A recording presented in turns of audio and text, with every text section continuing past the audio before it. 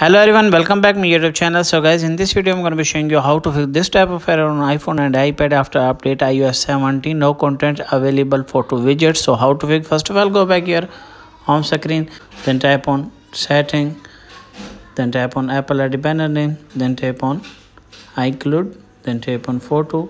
From here if the toggle turn on what you need to do it turn off this toggle and after that go back go back here home screen and open again setting then scroll down then tap on general scroll down then tap on shutdown then tap on slide to power off and after a few minutes you have turn it on. And after that open again setting.